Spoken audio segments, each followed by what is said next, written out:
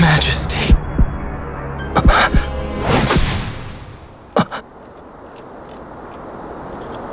Captain, why? Our king, what have you done? The king intended all along to sell Dalmasca to the Empire. His Majesty was a traitor. Captain, I...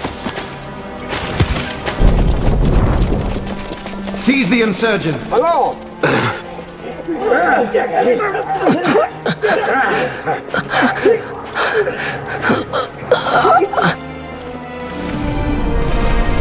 Well, so much for peaceful negotiations. We'll never surrender to you.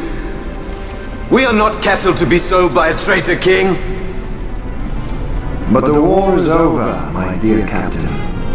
You have lost. Dalmasca is the property of the Empire now.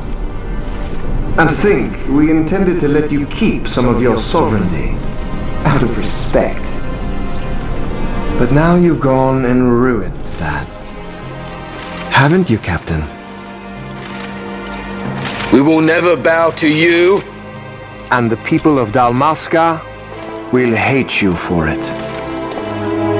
Take the captain away. Off you go.